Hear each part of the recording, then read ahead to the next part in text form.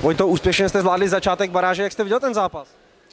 Já musím říct, že dneska jsme hráli všichni, všichni to, co jsme si řekli, plnili jsme úkoly, uh, snažili jsme se to nehrát u nás ve třetině, všechno jsme dávali ven a i dost šancí jsme si vytvořili a 3-1 je pro nás parádní výsledek a dobře, dobrý, dobrý vstup do toho, do baráže. No.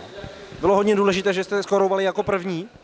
Já myslím, že jo, myslím, že, myslím, že jo, protože když jsme prohrávali, tak bychom se začali trošku možná strachovat nebo to, ale takhle jsme vedli 2-0 a o to se nám hrálo líp. No. Vy jste Olomouc zažil i v loňské baráži, ty zápasy byly rovněž šťastné tady v Chomutově. Připomnělo vám to, ty loňské zápasy, dnešek? No jasně, protože tenkrát jsme hráli, jsme to nějak srovnávali ke konci zápasu na jedné a vyhráli jsme nakonec, myslím, že 2-1 asi pár vteřin před koncem. Takže jsem na to taky myslel, no, že to bylo 2-1. A říkám, eh, my jsme potřebovali tři body, ty máme a teď odpočinem a v pátek jdeme, jdeme dál. No. Je to velké pozůzení, ten úspěšný vstup do baráže? Samozřejmě, jako kdybychom, kdybychom měli nula bodů, tak by to asi veselý nebylo. No. Takhle se můžeme trošku uklidnit a jít na to kladno s trošku se, s nějakou sebedůvěrou. Jo. Co jsem koukal, tak kladno asi prohrálo.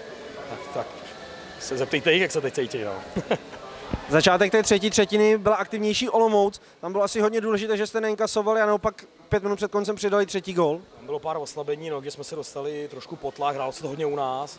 A pak vlastně Gaja dal na 3-1, to nás uklidnilo úplně a mohli jsme těch pět minut dohrát, asi říct v poklidu. No. Byl to zlomový okamžik, ten třetí gol?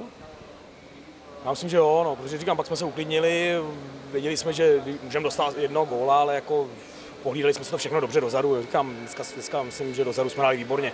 Beci to vyndavali, my jsme se vraceli. Já myslím, říkám, dneska bych až na pár ojedinělých chyb, jako ten gól třeba, nebo pak tam měl jednou stresný sám, tak si myslím, že to vzadu bylo perfektní. No. Takže výkon, do kterého se můžete odrazit do zbytku baráže? Samozřejmě, no. Golman začapal, kluci beci hráli výborně, my jsme jim pomáhali útočníci, takže, takže s tímhle, s tímhle, s tímhle hokem musíme to odehrát celou tu baráž.